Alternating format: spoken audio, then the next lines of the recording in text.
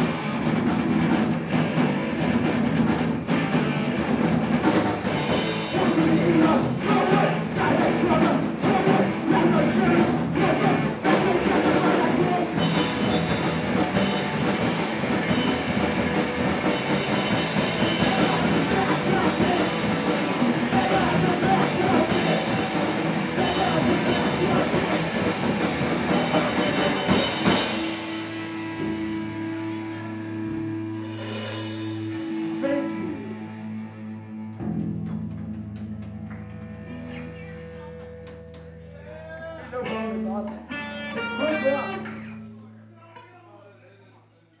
And is it not Friday night? I mean, come on. Guys look a little lazy. Hey, we'd like to thank Violation for letting us uh, use their gear.